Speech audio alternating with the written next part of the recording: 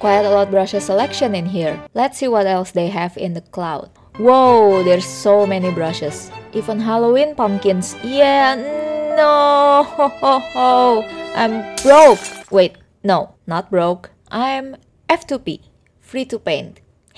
yeah, but with this many free brushes selection, you can still create beautiful drawings without spending a single cha-ching. Now, something that I can't find in Medibang is Liquify tool. Yeah, I don't think they have it either. But, but, do not fret. If you go to select, there's Mesh Transform, which is similar to Liquify. Not as flexible, but it's still pretty good in my opinion. I wanna try the line art brushes. So far, the best brush for me is this one, just a regular pen. Wait, we have to turn on stabilizer. Where is it? Oh, it's called correction in Medibang. Whoa, there are 40 levels? Holy sh... I mean, even Ibis Paint only has like 10 and already your line art is neat AF. Medibang got 40? Your line art will be as stable as a, a, a, a mountain or something. Wait, Medibang also have like manga creation tools, right? Oh yeah, when you create new canvas, you can choose between standard or comic. There are some templates you can choose from. Dojinshi, manga, yonkoma. What's a yonkoma? Ah, the comic with four panels. Gotcha, gotcha. And USA comic. Let's try manga. I will be making some panels. Oh, the arrow changed into slicing tool. Oh, this is so easy. You just go shing, shing, shing. Okay, I'll stop. This is really interesting. I think I'll make a separate video. oh, what is this oh alpaca? Yeah, uh, I think I'll make a separate video talking about the comic creation in Medibang because this is also interesting. And in terms of line art, I don't know if it's just me, but I feel like Medibang is tidier. I, I don't know how to express it, but I feel like my line art is tidier and neither neither? Huh, feels weird on my Indonesian tongue neater. Okay, what I'm trying to say is my line art looks better in Medibang, even with only a regular pen brush and my correction level is only 10 out of 40. And I'm not even making that much effort to make my line art more stable because I'm just gonna paint this later and I'm obviously have no idea how to draw snakes. Uh, I tried to make it adorable, didn't work. Oh jeez! Yeah, so I'll be seeing this on the foot of my bed. Okay, so I got reference for the snake. Oh, would you look at it? Oh, so cute. Snakes, man. Snakes. Snakes are so cute, okay? They're just misunderstood. Yeah, but as cute as it is, it doesn't fit the overall illustration. So I will draw a more suitable snake and we have to say bye-bye to our cute misunderstood snake. I will add soft shadow as per usual, just using regular airbrush, nothing special. One thing I don't like is when I make a selection using lasso tool, the other area becomes purple. And so when I'm applying color, I can't tell how it looks like on the portrait. Like after removing the selection, I think the shadow is too light for my liking. If you know a way to remove the purple overlay, please let me know in the comments and share your knowledge with the rest of us. There's this one brush that caught my eye because first, it's free, okay, remember F2P. And second, the texture. It looks really nice as blush and on the nose because the texture is not too rough. It's almost like watercolor. I will start painting his hair. There are quite a lot of comments asking me to do another hair tutorial. I'm I'm working on it, trust me. It does take more time to make because for real, hair is quite tricky to paint. But trust me, I'm working hard on it like I'm working on this video. Don't believe me? Let's take a little peek of how hardworking I am.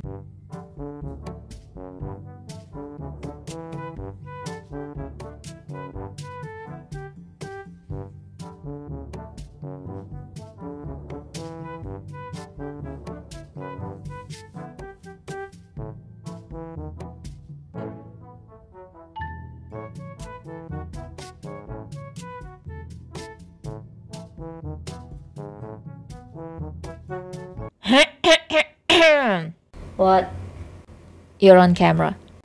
Huh? Oh, hey! I didn't see you there. What's up?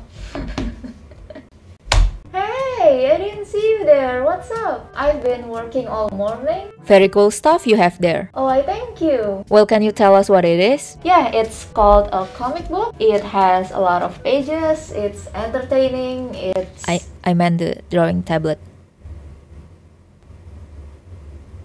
Ah. Alright, thank you to Xencelabs for sending me this magnificent tablet. Yeah, I try to be smooth by making that bit. Anyway, Xencelabs sent me this tablet to review and their product is really really unique, special even. Because first of all, this pen case, okay, which has, oh, hold on, hold on, it's upside down, which has not one, but two pens, like Xencelabs. So generous. Uh, you lost your pen? No worries, Xencelabs got your back, buddy. But wait, that's not even the best part. You see this remote?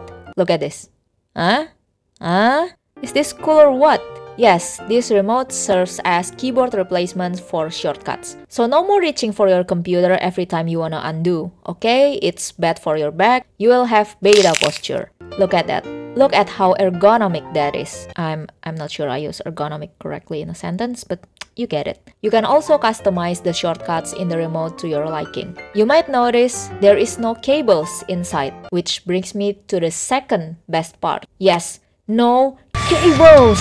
I mean, they still give you cables, but let's ignore that for a minute. Remember the pen case? This little guy right here is a wireless connector, which you can plug into your computer and you can draw without any cables. Man, I really hate cables. I'm a I'm a cable hater. But Fong, what is this cable for then? Well, since they're wireless, the tablet and remote run on battery. So they do need to be charged from time to time by connecting them to your computer. But from my experience, the battery lasts really long, like it's been 3 days since I last charged it. Oh, and by the way, during unboxing, I realized when you take off this part, there is a pouch for your tablet. It's huge and surprisingly fluffy like legit. First time I thought this was a pillow. You you can even sleep on it if you want.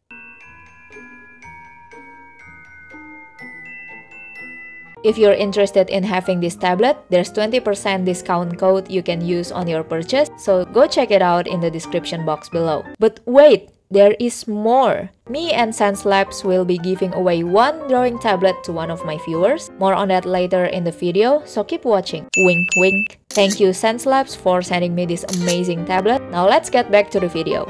Medibang Smudge Tool is good when you use it in very low opacity, but I still think it's too strong when applied on the skin. So for the skin shading, I just use the acrylic brush in low opacity to blend. Okay, let me paint the snake real quick. The blending modes in Medibang is not as many as Ibis Paint or Procreate, but I only use 4 of them anyway, so let's start with Multiply to deepen the shadows. I will add some makeup and saturated colors with overlay, and let me add some highlights first. Let me see the filter. Oh, there's tone curve in here. Tone curve is like the chat of color adjustment. Wait, Japanese pattern? Oh, oh okay, this is pretty cool will be very useful for background and clothes and oh there's even a turtle pattern no no snakes though. I'm really curious about these functions here. I think they are rulers. Oh, I was right. Genius Fong.